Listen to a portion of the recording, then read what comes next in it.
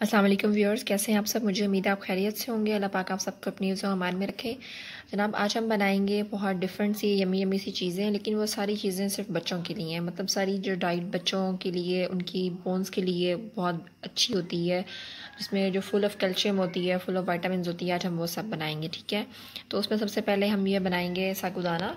इसको आप किसी भी एज के बच्चे आपके हैं मतलब छोटे जैसे थ्री फोर मंथ्स के हैं या सिक्स मंथ्स के हैं और अगर थ्री इयर्स के हैं टू इयर्स के हैं तो उनको भी आप बना के दे सकते हैं। ये फुल ऑफ़ कैल्शियम होता है। बहुत से जो आर्थोपेडिक डॉक्टर्स होते हैं, उनके पास जब आप किसी बोन के प्रॉब्लम की वजह से जाते हैं तो वो आपको ये रिकमेंड करते हैं कि आप अपनी जो डाइट है, उसमें सकुदाना जो है, वो ऐड करें।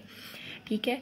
तो आज मैं आपको बताऊँगी कि आप किस तरह से ये छोटे बच्चे जो अभी सिर्फ़ फीडर लेते हैं या उनको ये खाना, चबा के खाना अच्छा नहीं लगता तो आप उनको भी ये फीडर में डाल के भी दे सकते हैं। वो बहुत इजीली ये पी भी जाएँगे इसको, उनको अच्छा भी लगेगा और उनके अंदर एक एनर्जी भी जाएगी। ठीक है, जनाब? जी तो व्यूअर्स ये देखें ये हमने अपना सागुदाना इस तरह से पकाया था। ठीक है कुछ लोगों की ये गलत एजम्पन होती है कि वो कहते हैं जिस पानी में आपने सागुदाने को भिगोया है या आपने जिसमें पहले पानी में पकाया है वो पानी पहले आपने वेस्ट करना है। ऐसा बिल्कुल नहीं है ये बहुत गलत बात है। जिस पानी में आपने इसको भिगोया है या जो पहला पानी है उसका आपने उस, उसको उसी में पकाना है। ताकि इसकी ये जो इस तरह की ये इस तरह से इसकी बनती है तार सी बनती है ये इसी का सारा फ़ायदा होता है बच्चों की हड्डियों को मज़बूत करने के लिए और उनकी नशोनुमा के लिए ठीक है? अब ये इस तरह से बन के रेडी हो चुके हैं। इसमें हम अगर आपका बच्चा बहुत छोटा है वो आ, मतलब इसको खा नहीं सकता तो आप इसको ग्राइंड करके इसमें मिल्क ऐड करें और उसको फीडर में डाल के पिला दें वो ईजीली पी जाएगा। और अगर आपके बेबी की एज सिक्स मंथ्स से अबव है तो आप उसको ये स्पून के साथ खिला भी सकती हैं। इसमें कोई टीथ का इशू नहीं होगा, उसकी टीथ नहीं है, वो चबा नहीं सकता। वो बिल्कुल सॉफ्ट सा इसका ये होता है दाना सा, वो इसको इजीली खा लेगा, ठीक है? इसमें आप इसको अगर खिलाना आपने है तो इसको बिल्कुल आपने थोड़ा सा दूध ऐड करके इसमें थोड़ी सी चीनी ऐड करें और इसको खीर टाइप बन जाएगा इसको खिलाएँ। और अगर आपने इसको फीटर में डाल के पिलाना है तो उसके लिए आपको एक टिप दूँ कि आपने सबसे पहले इसको अकेले सागुदाने को ग्राइंड करना है, उसके बाद आपने इसमें दूध ऐड करना है।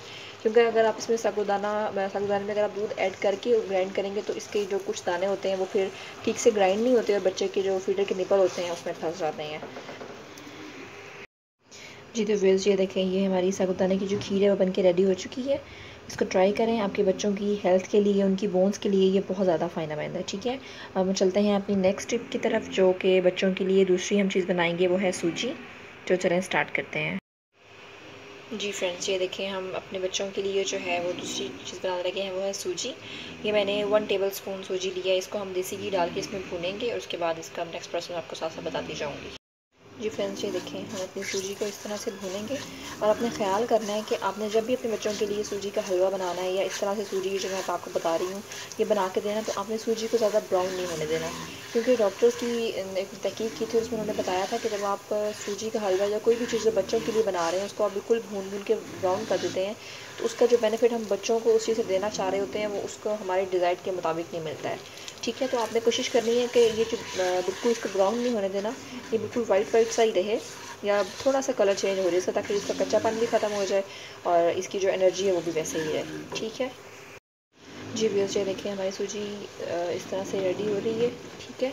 इसमें मैंने हाफ़ कप जो है वो मिल्क ऐड की है।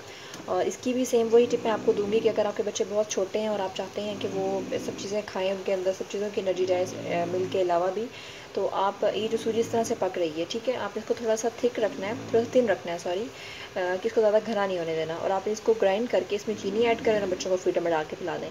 मेरे बच्चे जब बहुत छोटे थे, क्योंकि आपको पता है, मैंने आपको एक वीडियो में बताया था कि मेरे बच्चे जो हैं वो ट्विन्स हैं और वो बाय बर्थ बहुत वीक थे तो मैं चाहती थी कि वो अच्छी उनकी हेल्थ हो, वो सब कुछ खाएँ पिएँ। तो बहुत इशू था, बहुत सारे इशू थे जो मैंने फ़ेस किए तो उसमें मुझे फिर किसी ने मशवरा दिया था कि आप अपने बच्चों को सब चीज़ें मतलब इस तरह से ग्राइंड करके आप उनको फीटर में डाल के पिला दें।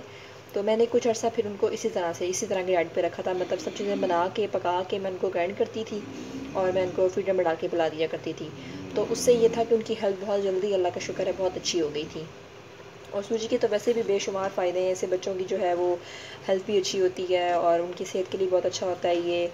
और दूसरी बात ये कि इससे उनकी जो ग्रोथ है बहुत अच्छी होती है और वो इससे उनकी हेल्थ है मतलब वो गोलू मोलू से बन जाते हैं। तो अपने बच्चों को ये सूजी जो है इस तरह से खीर बना के ज़रूर खिलाएँ। जी व्यूअर्स हमारी जो सूजी की खीर है, वो ऑलमोस्ट बन के रेडी होने वाली है। तो अब हम इसमें एक और चीज़ ऐड करेंगे, वो है हमारे क्रश्ड आलमंड्स ये देखें मैंने आलमंड्स को इस तरह से क्रश करके रखा हुआ है ग्राइंड करके। अब हम इसमें ये जो है, ये वन टीस्पून ऐड कर देंगे, ताकि हमारे बच्चों की जो ये सूजी की खीर है, ये मज़ीद एनर्जेटिक हो जाए और उसकी मज़ीद जो है, वो उनको इससे एनर्जी मिले।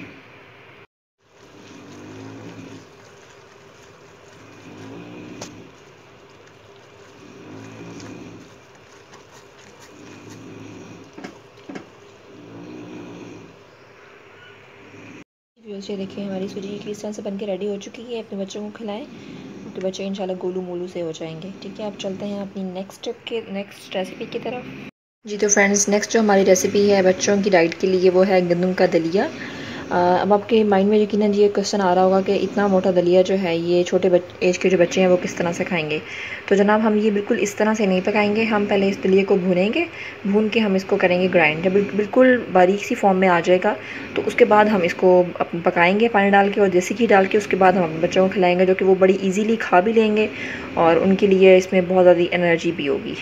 फ्रेंड्स, ये देखिए दलिया हमने भून के अपना ग्राइंड कर लिया था। अब इसको पकाने की बारी। अब मैंने इसको पैन में डाला है इसमें थोड़ा सा पानी ऐड करेंगे। जी फ्रेंड्स, अब इसमें थोड़ा सा अपना देसी ऐड घी ऐड करेंगे ऑलमोस्ट थ्री स्पून्स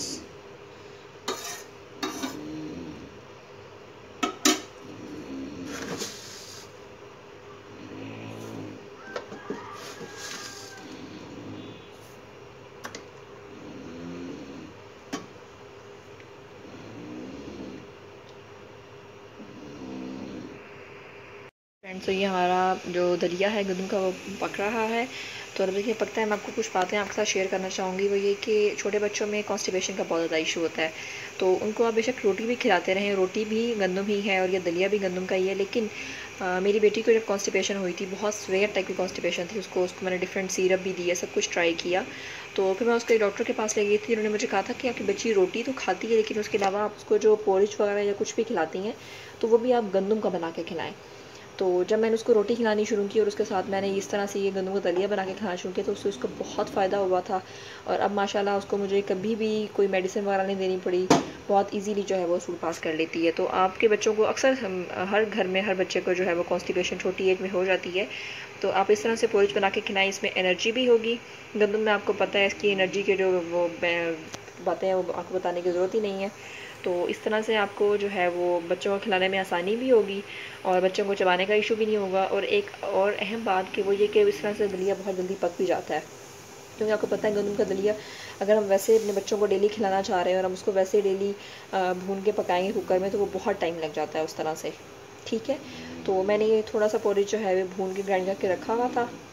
तो इसको मैं इस तरह से पका के बच्चों को डेली खिला देती हूँ। फ्रेंड्स, ये देखें ये हमारा गंदम का दलिया पक के तैयार हो चुका है। इसको मैंने थोड़ा सा पतला रखा है, क्योंकि जब तक ये ठंडा होगा और बच्चों को खिलाना है इसको तो उस वक्त तक ये थोड़ा मज़ीद थिक हो जाता है। इसलिए मैंने थोड़ा सा इसको इस तरह से पतला रखा है। ठीक है? मुझे उम्मीद है आपको मेरी ये सारे टिप्स बहुत अच्छी लगी होंगी। आपको अच्छी लगें तो लाइक करें, चैनल को सब्सक्राइब करें। नेक्स्ट टाइम मैं आऊँगी एक डिफरेंट वीडियो के साथ। तब तक अल्लाह हाफ़